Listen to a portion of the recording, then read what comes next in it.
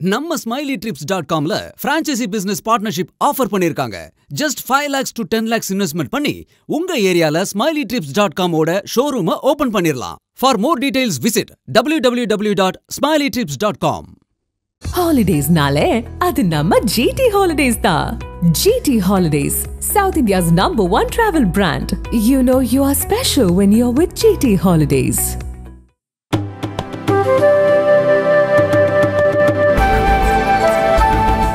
Chanakya சொந்தங்கள் அனைவருக்கும் வணக்கம். இன்று நம்மோடு டெல்லியிலிருந்து மூத்த பத்திரிகையாளர் டெல்லி ராஜகோபாலன் சார் டெல்லி லீக்ஸ் நிகழ்ச்சிக்காக இணைந்துள்ளார். கேட்பதற்கு நிறைய இருக்கிறது. வாருங்கள் கேட்கலாம்.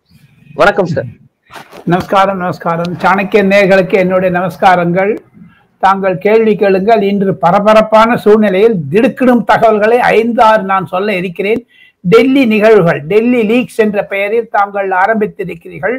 அந்த டெல்லி லீக்ஸ் சாணக்கிய நேர்களுக்கு நான் இருட்டடிப்பு செய்ய மாட்டேன் தெரிந்ததை சொல்லுவேன். கண்டிப்பா சார். ஆஹ் இருட்டடிப்பு செய்வேன் அப்படின்னு இருட்டடி செய்ய மாட்டேன் நம்ம வந்து தெரிந்ததை சொல்வோம் அப்படின்னு சொல்லும்போது ஒரு முக்கியமான விஷயம் வந்து பரவலாக இப்போ இந்திய அளவுல ஏன் சர்வதேச அளவிலே கூட பேசப்படுகிறது. பிரதமர் நரேந்திர மோடிக்கு எதிராக டெல்லியில் ஒரு சதி திட்டம் தீட்டப்படுவதாக ஒரு தகவல். இது ஒரு ஃபுல் ஆஃப் இன்டர்நேஷனல் லாபியோட கனெக்ஷனோட நடக்குது அப்படின்னு ஒரு தகவல். இது தொடர்பாக நீங்களும் என்னுடனான ஒரு ஃபோன் கான்வர்சேஷன்ல சொல்லியிருந்தீங்க. அதை நான் இந்த இன்டர்வியூல கேட்டே ஆகணும் தான் நினைக்கிறேன். பிரதமர் நரேந்திர மோடிக்கு எதிராக டெல்லியில் ஏதேனும் சதி திட்டப்படுகிறதா? இஃப் சோ அதை நீங்க கொஞ்சம் விரிவா சொல்ல முடியும்? சாணக்கிய நேர்களுக்கும் ரமேஷ் அன்று ரங்கராஜ் பாண்டேக்கும் எனது நமஸ்காரங்களை தெரிவித்துக் கொண்டு டெல்லியில் நரேந்திர மோடியை இரண்டாயிரத்தி இருபத்தி நாலில் மீண்டும் மூன்றாவது முறையாக தேர்ந்தெடுக்க கூடாது என்ற சதி திட்டம் அம்பலமாகி இருக்கிறது. தீவிரமாக ஷாக்கிங் டீட்டெயில்ஸ்லாம் நான் வச்சிருக்கேன். அதுல கேட்க போனீங்கன்னா அதிர்ச்சி அடைவீங்க அப்படியே உங்களுக்கு. அத்தனை ஒரு துரோகங்கள் செய்யக்கூடிய இந்தியர்களும் இருக்கிறார்கள் அயல் நாட்டு தலைவர்களும் இருக்கிறார்கள். கடந்த எட்டு ஒன்பது வருடங்களில் நரேந்திர மோடி செய்த சாதனைகள் பிடிக்காது இருக்கிறாம் ஆனால் அவருக்கு எதிராக துரோகம் செய்யக்கூடாது. ஒன்றே ஒன்று அயல் நாட்டு கை என்று இந்திரா காந்தி அம்மையார் பல வருடங்களுக்கு முன்பு சொன்னதும் இன்று நடைபெறுவதும் எனக்கு கிடைத்த தகவல்களை நான் இருட்டடிப்பு செய்ய மாட்டேன் சாணக்கிய நேர்களுக்கு என்று சொன்னதில் உறுதியாக இருக்கிறேன். அந்த திடுக்கிடும் தகவல்களை ஒன்று இரண்டு மூன்று என்று நான் வரிசைப்படுத்தினால் தங்களுக்கும் அந்த புரிதல் வரும் தங்களுக்கும் அந்த ரத்த கொதிப்பு அதிகமாகும். இதுல துரோகம் பச்சை துரோகம் பச்சை துரோகம். துரோகம் கூட கிடையாது. பச்சை துரோகம் பிட்ரேயல் பிட்ரேயல் அது அந்த மாதிரியான ஒரு இது கிடையாது. உதாரணத்திற்கு சொல்கிறேன் ரமேஷ் நரேந்திர மோடி அவர்கள் ராம் மந்திர் சொன்னபோது நிறைவேற்றி காட்டினார். ட்ரிபிள் தலாக் நிறைவேற்றி காட்டினார். ஜிஎஸ்டி செய்து கொடுத்தார். எல்லாவற்றையும் மேலாக ஸ்டெபிலிட்டி ஸ்திரத்தன்மை நிரந்தரம். எட்டு ஒன்பது வருடம் இந்தியாவில் முன்னூத்தி மூணு முன்னூத்தி ஐந்து வைத்து கூட நிரந்தரம் என்றால் அது பெருமை. முன்னூத்தி மூணு எம்பிக்களை தேர்ந்தெடுத்திருக்கிறார்கள் இரண்டாயிரத்தி பத்தொன்பதில். சாதாரண விஷயம் அல்ல. அதையும் தவிர இரண்டாயிரத்தி இருபத்தி ஒன்னில் வந்த நூறு வருடங்களுக்கு கிடைக்காத ஒரு ஒரு அதிர்ச்சி கொரோனா. அதை. பல நூறுக்கு ஆயிரக்கண லட்சக்கணக்கான ஏனோ உயிர்கள் பறந்து இறந்து விட்டாலும் அதை நரேந்திர மோடி இந்தியாவில் காப்பாற்றினார். பல கோடிக்கணக்கான பேர்களுக்கு இருநூத்தி நாற்பது கோடி பேருக்கு ஊசி போட்டிருக்கிறார். அதையும் தவிர அருண் இருபத்தி ஐந்தாயிரம் மாணவர்கள் சக்கி சிக்கி தவித்தனர் உக்ரைனில். தமிழகத்தில் இருந்து இரண்டாயிரத்தி ஐநூறு மாணவர்களை லட்டாக தூக்கி கொண்டு வந்தார். அமெரிக்க அதிபர்கள் செய்ய முடியாததை இந்திய பிரதமர் செய்து காண்பித்தார். புட்டினுடன் அவர்களுடன் ரஷ்ய பிரதமருடன் பேசிய பிறகு மூன்று நாட்கள் சண்டை நிறுத்தம் போர் நிறுத்தம். அப்பொழுது இருபத்தைந்தாயிரம் மாணவர்கள் தமிழகத்தில் இருக்கக்கூடிய மாணவர்களை கொண்டு வந்தார். இதெல்லாம் விட்டுருங்க. நான் ஏன் சொல்லுகிறேன் என்றால் சதி திட்டம் என்றால் என்ன? நரேந்திர மோடி மூன்றாவது முறை வரக்கூடாது. துரோகம் செய்யார் செய்கிறார்கள் இந்தியாவில் இருக்கக்கூடிய ஒரு பிரதான கட்சி ஐந்தாறு மாநில கட்சிகள் ஐந்தாறு என்ஜிஓக்கள் நாலைந்து பத்திரிகைக்காரர்கள் இந்த குழாம்தான். இது பற்பல இடங்களுக்கு செய்கிறார்கள் உதாரணத்துக்கு சொல்ல வேண்டும் என்றால் சென்ற வாரம் தாங்களும் படித்திருப்பீர்கள் ஏர்பஸ் போயிங். இந்தியா அமெரிக்கா மற்றும் பிரான்சுடன் ஒப்பந்தம்.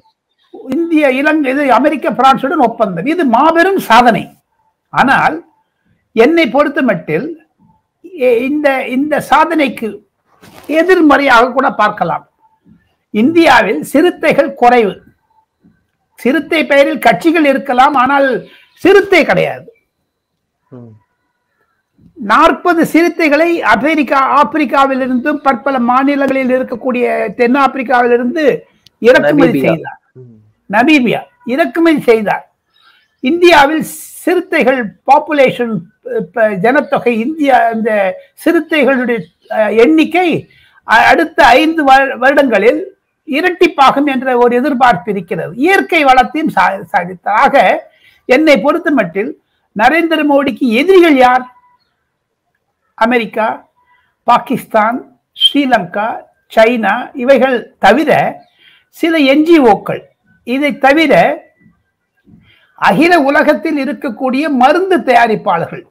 ஃபைசர் என்று சொல்லக்கூடிய கம்பெனி எப்படி நீங்க வந்து கொரோனாவையும் கோவேக்சினையும் இந்தியாவிலே தயாரித்தீர்கள்? எனக்கு ஒவ்வொரு மருந்து விற்பதிலும் ஐம்பது பர்சன்ட் கமிஷன் வந்து வந்ததே.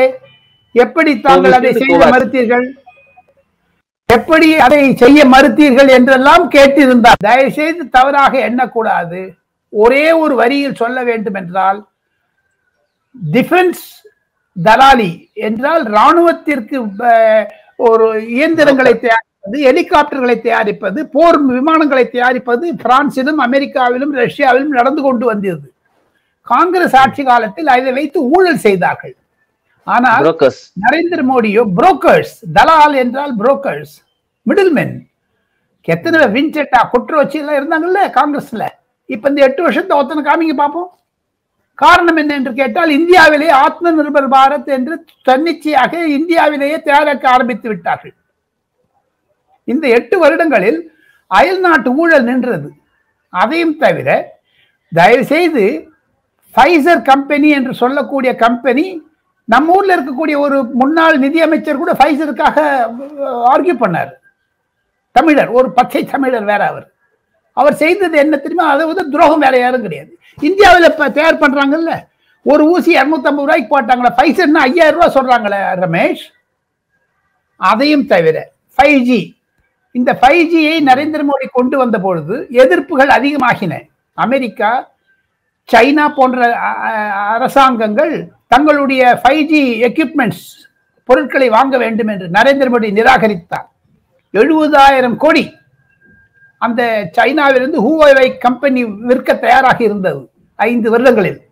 நரேந்திர மோடி சொன்னார் என்னுடைய இ- விஞ்ஞானிகள் இந்தியாவில் இருக்கக்கூடிய சயின்டிஸ்ட் இந்தியாவில் இருக்கக்கூடிய டெக்னாலஜி இருக்கக்கூடிய இருக்கதே நான் வாங்க மாட்டேன் என்று சொன்னார். ரிலையன்ஸ் ஜியோ அவர்களே செய்ய ஆரம்பித்து விட்டார்கள். ஏர்டெல் அந்த ஃபைவ் ஜி அவங்களே பண்ணாங்க. இதில் ஆக்ஷன் விடும்போது ஏலம் விடும்போது இந்தியாவிலே ஏலம் வர்றதுனால உங்களுக்கு டப்பு ரால் இது. அதை நிறுத்தி விட்டார். அதுதான் என்னுடைய ஒரு தாற்பயம் என்று நான் சொல்லுகிறேன். தயவுசெய்து ஒரே ஒரு வரியில் சொல்ல வேண்டும் என்றால் இந்த நான் சொன்ன ஐந்தாறு பேர்கள் ஃபைசர் ஃபைவ் ஜி இந்த இந்த மாதிரியான ஆட்கள்லாம் சேர்ந்து தான் நரேந்திர மோடியை பதவியிலிருந்து வர விடக்கூடாது இரண்டாயிரத்தி இருபத்தி நாலில் என்று இருக்கிறார்கள். இந்த ஃபைசர் ஃபைவ் ஜி முதலாளிகள் போன்ற இவங்கெல்லாம் வந்து ஒரு எக்ஸ்டர்னல் ஃபோர்ஸஸ் அப்படின்னு பார்த்தா இன்டர்னலா நீங்க ஒரு சில கட்சிகளை சொன்னீங்க. ஒரு தேசிய கட்சின்னு சொன்னீங்க. சில ஐந்தாறு மாநில கட்சிகள்னு சொன்னீங்க. முதல்ல நம்ம இதுக்கு வருவோம். இதில் தேசிய கட்சி அப்படின்னு சொன்னா நீங்க காங்கிரஸ சொல்றீங்களா? டைரக்டா அதற்கு ஆதாரம் இருக்கிறது அதற்கு பற்பல சான்றிதழ்கள் இருக்கிறது. இதனுடைய பின்னணியை சொல்ல வேண்டும் என்றால் தேசிய பாதுகாப்பு ஆலோசகர் அஜித் தோவல். அவர் நாற்பது பக்க அறிக்கையை தயாரித்திருக்கிறார். நான் சொன்ன விஷயங்கள் எல்லாம் அதில் இருப்பதாக நான் நம்புகிறேன். காரணம் என்ன என்று கேட்டால் பிரதமர் நரேந்திர மோடியிடம் சென்ற வாரம் அஜித் தோவல் அவர்கள் எட்டு தேசத்திற்கு சுற்றுப்பயணம் செய்துவிட்டு இந்தியாவில் நடக்கக்கூடியது அயல் நாட்டிலிருந்து எப்படி பார்க்கிறார்கள்? ஊழல்கள் நடு நிறுத்ததை அந்த ஊழலிலிருந்து சம்பாதிக்க முடியாத பெரும் பெருச்சாளிகள் பணக்கார முதலைகள் அவங்கெல்லாம் சேர்ந்து நரேந்திர மோடியை கீழ்வைத்த வேண்டும். அதுல தான் இந்த ஜார்ஜ் சோலேஸ் அதுல தான் இந்த ஹிண்டன்பர்க். George Soros. அதுலதான் இதெல்லாம் வராங்க. ஒன்னு ஒன்னு ஒன்னு ஒன்னாக வருகிறார்கள். என்னை பொறுத்த மட்டில் அந்த ரகசிய அறிக்கை நரேந்திர மோடியிடம் தரப்பட்டது விளக்கப்பட்டது. அதில் விளக்குவதில் பத்து பர்சன்ட் தான் எனக்கு தெரியும். மீதி தொண்ணூறு பர்சன்ட் தெரியாது. அந்த பத்து பர்சன்டை கூட சாணக்கிய நேர்களுக்கு நான் இருட்டடிப்பு செய்யாமல் தருகிறேன். அதற்கான ஒரு ஆதாரங்களையும் நான் வைத்திருக்கிறேன். அந்த ஆதாரங்களை குறிப்பெடுத்து வைத்திருக்கிறேன். அந்த குறிப்பிலிருந்து தான் நான் கூறுகிறேன் தங்களுக்கு. என்னை பொறுத்த மட்டில் ஆமாம் காங்கிரஸ் கட்சி அதில் இருக்கக்கூடிய பற்பல ஒரு தலைவர்கள் இந்தியாவிற்கு எதிராக செயல்பட்டார்கள் என்ற குறிப்பு அதில் இருக்கிறது. அதே போல சில ஐந்தாறு மாநில கட்சிகள்னு சொன்னீங்க. இந்த மாநில. கட்சிகள் எவை எவைன்னு சொல்ல முடியுமா? இதுல ஏதாவது தமிழகத்தை சேர்ந்த கட்சி இருக்கிறதா? இருக்கு இருக்கு. தமிழகத்தை சேர்ந்த கட்சி இருக்கிறது. இதுல இந்த மாநில கட்சி அப்படின்னு சொல்வது எந்த கட்சின்னு சொல்ல முடியுமா? குறிப்பா தமிழக பேர் சொல்ல முடியாது. பேர் சொல்லுவது தவறு. அதில் மூலமாக வழக்குகள் தொடரப்படும். அந்த கட்சி துரோகம் செய்யக்கூடிய கட்சி என்பது பற்பலருக்கு தெரிந்திருந்தாலும் பெயர் சொல்லுவதில் இருந்து நான் தயாராக இல்லை. காரணம் என்ன என்று கேட்டால் சாணக்கியன் நேர்களை இருட்டடிப்பு செய்யக்கூடாது. அதே சமயத்தில் சாணக்கியனுக்கு வழக்குகளோ supreme court high court court வந்து தாக்குதல்கள்லாம் கூடாது. ஏன்னா இது வந்து துரோக செயல். தமிழகத்தில் ஒரு சிறு கட்சி இருக்கிறது. அது செய்யக்கூடிய துரோக செயல் அது. தேசிய லெவல்ல எந்த கட்சிகளா இருக்கு? மாநில கட்சிகள்னு சொன்னா ஏதாவது உத்தரப்பிரதேசத்தை சேர்ந்த கட்சி இல்ல பீகாரை மையமாக கொண்டுள்ள கட்சி அது போன்ற கட்சிகளை தான் அடையாளப்படுத்த முடியுமா? அட்லீஸ்ட் நேம் எடுக்க முடியாட்டினாலும் அடையாளப்படுத்த முடியுமா? தாங்கள் கேளுங்கள் நான் எது பதில் சொல்லுகிறேன்.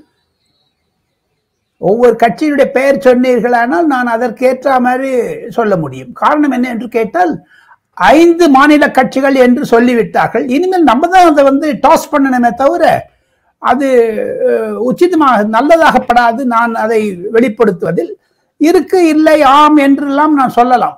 தாங்கள் கேள்வி கேட்டார். இப்போ சமாஜ்வாதி கட்சி அந்த சதியில் ஒரு பங்காக இருக்கிறதா?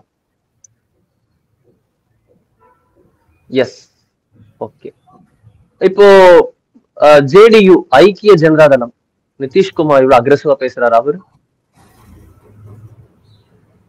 Yes K. Chandrasekhar Rao TRS அதாவது பிஆர்எஸ் ஓகே. என்சிபி தேசியவாத Congress?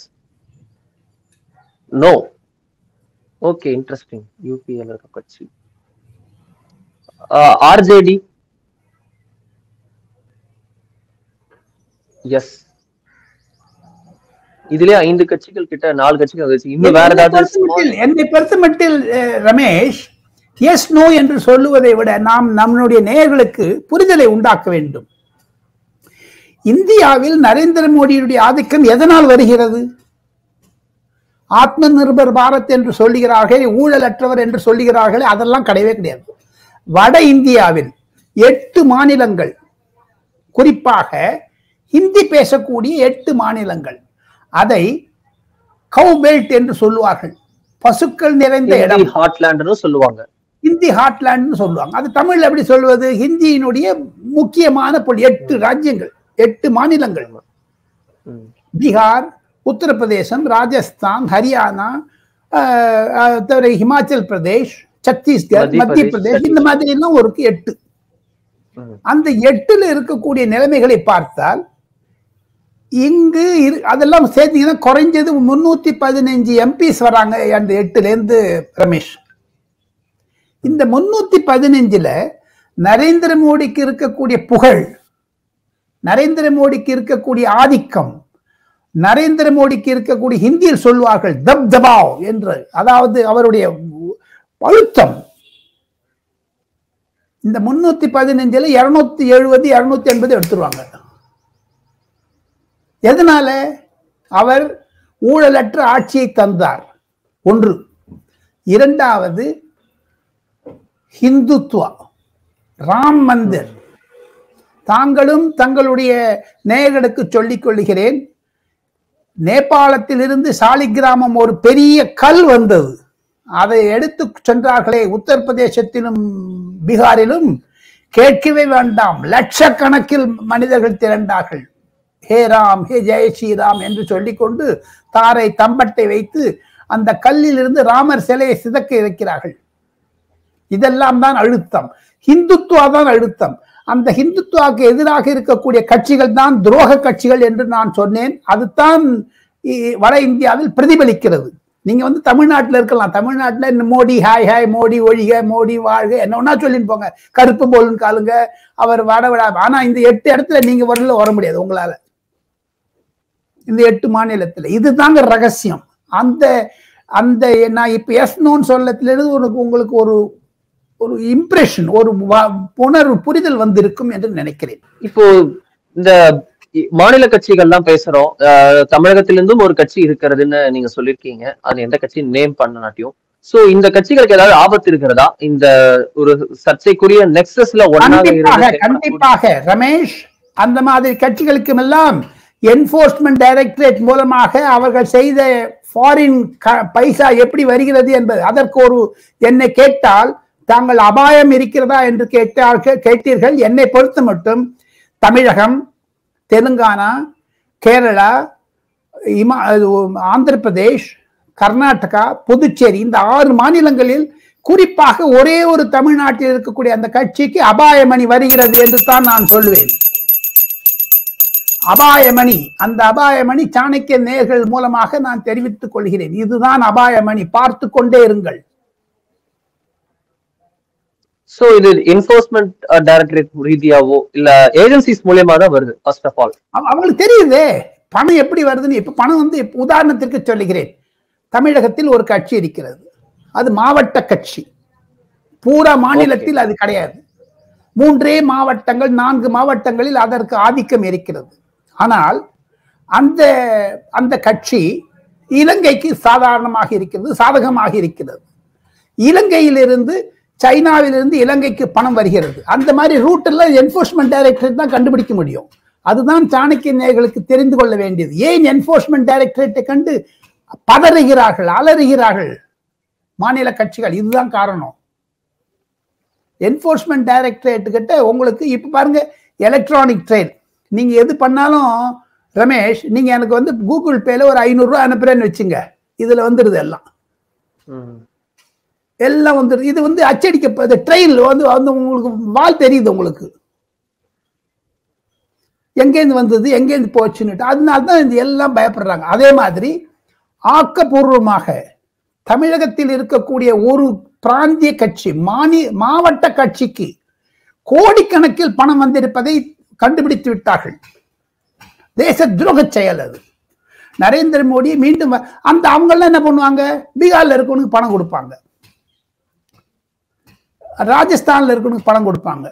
மத்திய பிரதேசத்துல இருக்க பணம் கொடுப்பாங்க. அதுவும் கண்டுபிடிச்சிடலாம் நீங்க. அந்த மணி ட்ரெயின் பண தொடர்பும் கண்டுபிடிக்கப்பட்டு விடும். ரத்தம் கொதிக்கிறது ரமேஷ் இதையெல்லாம் கேட்கும் பொழுது எண்ட் ரிசல்ட் என்ன? மோடி வரக்கூடாது. அடுத்த கேள்விக்கு நாம் செய்யலாம். உணர்ச்சி வசப்படுகிறேன். தயவு செய்து ரத்த கொதிப்பை தங்களுக்கோ அல்லது எனக்கோ வரக்கூடக்கூடாது. அப்படிப்பட்ட பச்சை துரோகம் செய்தது இந்த கட்சிகள். ஏன்னா இந்தியாவில் கடந்த பத்து வருடங்களாக நிலையான ஆட்சி அயல் நாட்டுக்காரர்கள் கூடாது என்று நினைப்பார்கள். காரணம் என்ன என்று கேட்டால் அவருடைய வியாபாரம் இந்தியாவில் பாச்சா பதிக்கலை இங்க. அதனால்தான் இந்த துரோகங்கள். இப்போ நீங்க இந்த அயல்நாட்டு சதி பத்தி சொல்லியிருந்தீங்க சார். ஆஹ் மறுபக்கம் வந்து இந்தியன் பொலிட்டிக்கல் சிஸ்டம்ல ஒரு முக்கிய இன்னொரு அடுத்த சேஞ்ச் என்ன அப்படின்னா இன்னொரு மாநில கட்சி உடைந்துள்ளது. சிவசேனா உடைஞ்சதை நம்ம பார்த்திருப்போம். இப்போ within a sequence of time நம்ம பாக்குறோம் ஐக்கிய ஜனதா தளம் மீண்டும் ஒரு முறை உடைந்துள்ளது. ஏற்கனவே சரத் யாதவ் உடைந்து பார்த்திருப்போம். இப்போ வந்து உபேந்தர் குஷ்வாஹா அவர் தனியா ஒரு கட்சியில் இருந்தாரு ஜேடியூல சேர்ந்தாரு அப்புறம் முக்கிய பதவிகள் இருந்தாரு. இப்போ நிதிஷ்குமாருக்கு எதிராக போர்க்கொடி தூக்கி தனி கட்சியை துவங்குவதாக அறிவித்துள்ளார். ஜேடியு சிவசேனா மகாராஷ்டிரா பீகார். இது ஏதாவது ரிலேஷன் இருக்கா? இது இருக்கும் டெல்லிக்கு ஏதாவது சம்பந்தம் இருக்கா? தமிழகத்திற்கு ஏதாவது இதுக்கு பாதிப்பு கண்டிப்பாக. மிக மிக அருண் மிக மிக சாதுரியமாக சாமர்த்தியமாக அழகாக கேள்வி கேட்டீர்கள். நான் சரியாக பதில் சொல்லுகிறேன். அந்த பதிலை கேட்டால் உங்களுக்கும் ஒரு புரிதல் வரும். அருண் மற்றும் அருண் நேயர்களுக்கும் ஒரு புரிதல் வரும். காரணம் என்ன என்று கேட்டால் பீகாரில் நடப்பது. நரேந்திர மோடிக்கு எதிராக நிதிஷ்குமார் செய்த துரோகத்தில் அவரே மாட்டிக்கொண்டு விட்டார். உபேந்தர் குஷ்வாகா என்பவர் ஒரு குஷ்வாகா கம்யூனிட்டியை சேர்ந்தவர். அது ஒரு நான் தமிழ்நாட்டுல வந்து வன்னியர்கள் இருக்க மாதிரி அங்க குஷ்வாகா போன்றவர்கள் இருக்கிறார்கள். குருமி என்ற ஒரு ஜாதி இருக்கிறது குருமி. அந்த குருமி ஜாதியில் தான் நிதிஷ்குமார் வருகிறார். இந்த இரண்டாயிரத்தி பத்தொன்பது தேர்தலில் பாஜகவுடன் தான் இருந்தார். உபேந்திர குஷ்வாகா. ஆனா அவரை பிரித்தார் நிதிஷ்குமார் தேஜஸ்வி யாதவுடன் வந்தபோது அப்போது சொன்னார் லவ குச மாதிரி இருக்க வேண்டும் லவ் குஷ் மாதிரி இருக்க வேண்டும் லவ குச மாதிரி ரா- ராமருடைய மகன் மகள் ம- மகன்கள் மாதிரி இருக்க வேண்டும் குருமியும் குஷாவும் ஒன்றாக வேண்டும் என்று சொன்னார். அந்த தாத்பரியத்தில் தேஜஸ்வி யாதவ் என்ன நினைத்தார்? லாலு பிரசாத் யாதவினுடைய மகன் குஷ்வாக வந்தார் குருமியும் குஷ்வாகவும் சேர்ந்தால் அங்கு எட்டு பத்து பத்து பதினெட்டு பர்சன்ட் ஓட்டு வந்துடும். லாலு யாதவுக்கு இருபத்தி ரெண்டு பர்சன்ட் இருக்கு. யாதவ் கம்யூனிட்டிக்கு. அங்க பிராமணர்கள் பத்து பர்சன்ட் இருக்காங்க. இப்ப குஷ்வாகா குருமி பிராமணர்கள் சேர்ந்தார் பாஜகவை சேர்ந்துச்சுன்னா ஐம்பத்தஞ்சு பர்சன்ட் வந்துடும் ஆக மொத்தம் பீகாரில் ஒரு மாற்றம் வரும். அந்த மாற்றத்தை தடுப்பதற்காகத்தான் நிதிஷ்குமார் வந்து குஷ்வாகை சேர்த்துட்டாரு. ஆனா குஷ்வாகாவுக்கு ப- பதவி தரவில்லை. இதுவும் வரல. எல்லாமே இங்கதான் வந்து நிக்குது. Centre point. அவர் என்ன பண்ணிட்டார்? குஷ்வாக பண்ணிட்டாரு. அங்க இருக்கவங்களாம் முந்தான டே பிஃபோர் எஸ்டர்டே பதினாறு பதினேழு பதினெட்டு பிப்ரவரி மாதத்தில் ஒரு மாநாடு நடத்தினார் பாட்னாவில். அவங்க வந்து முடிவு பண்ணிட்டாங்க குஷ்வாகா வந்து ராஷ்டிரிய லோக்தல் என்றது ஆர்எல்டி என்பது ஆர்எல்ஜேடி என்று மாற்றி விட்டார் தான் ஒரு கட்சி ஆரம்பித்து விட்டார். அந்த நிதிஷ்குமார்ல இருந்து ராஜினாமா செய்து விட்டார். எம்எல்சி ஆக இருக்கிறார் அவர். அந்த எம்எல்சி ராஜினாமா செய்து விட்டார். நீ கொடுத்த பிச்சை எனக்கு வேண்டாம் என்று. இப்பொழுது பாஜகவுடன் கைகோர்த்து விட்டார். ஆக பீகார் அரசியல் மாறுதல் வருகிறது. தேஜஸ்வி யாதவும் கே. சந்திரசேகர் ராவும் அரவிந்த் கெஜ்ரிவாலும் கைகோர்த்து கொண்டால் அகில இந்திய அளவில் நிதிஷ்குமாருக்கு எதிராக அது போகும். நிறைய Arvind கெஜ்ரிவாலே PM K Chandrasekhar Rao PM M K Stalin PM எல்லாம் நீங்க ஒரு பிஎம் நான் ஒரு பிஎம் எல்லாரும் ஒரு பிஎம் பிஎம் பிஎம் இதுல தான் இந்த பீகார் பாலிடிக்ஸ் இதுக்கும் மகாராஷ்டிராவுக்கு என்ன சம்பந்தம்னு கேட்டீங்க? நல்லா கேட்டீங்க.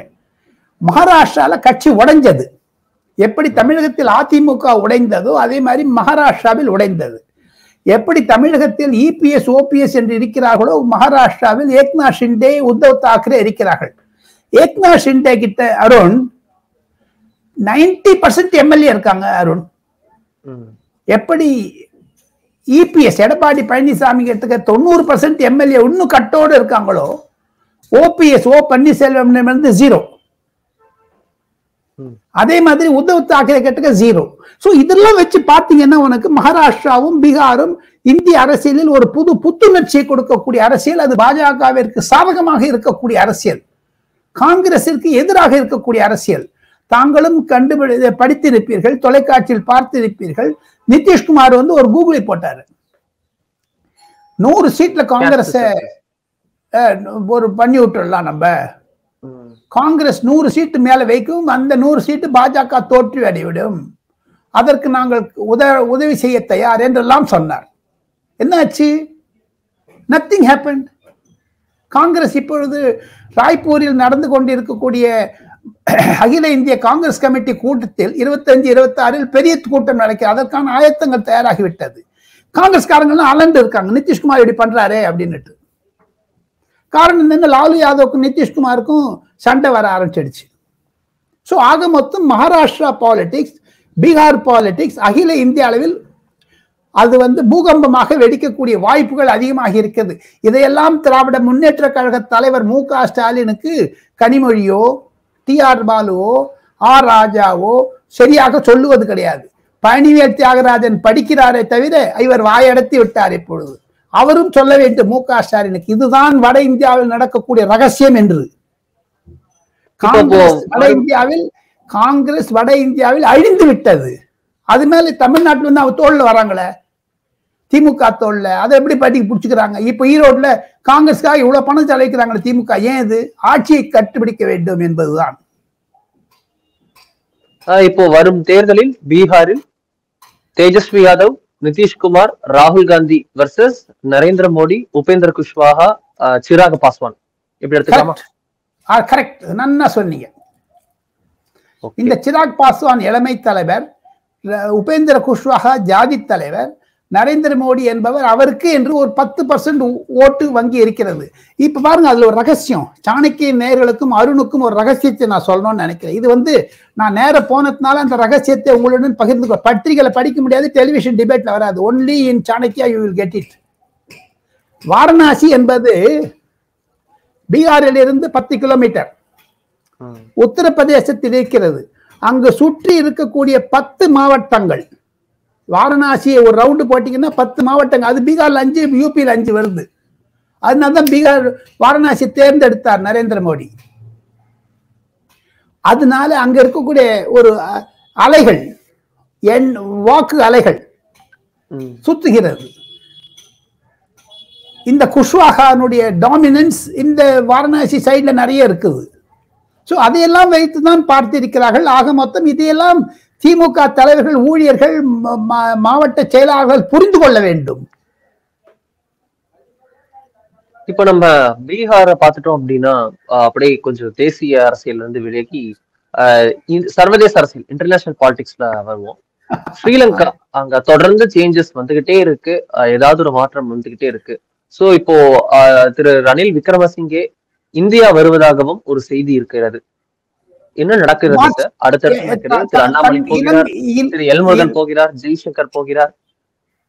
இலங்கைக்கும் தமிழருக்கும் யாழ்ப்பாணத்திற்கும் தமிழருக்கும் தொப்புள் தொட்டில் கொடி உறவு என்று சொல்லுவார்கள்.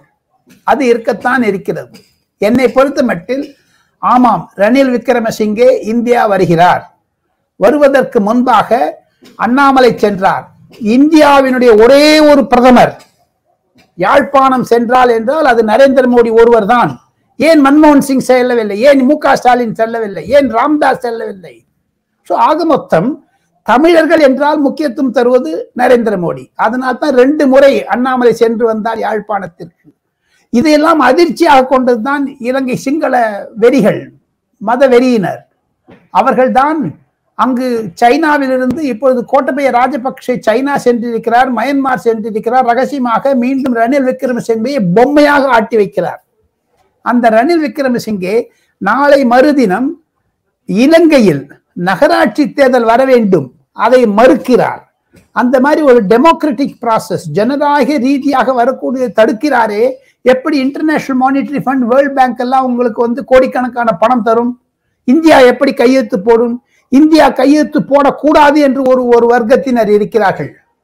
என்னை பொறுத்த மட்டில் தாங்கள் கேட்டீர்கள் இலங்கை பிரதமர் இலங்கையினுடைய ஜனாதிபதி இந்தியா வர இருக்கிறார் அப்போது காரசாரமாக விவாதம் நடக்கும் என்று தான் நான் நினைக்கிறேன்.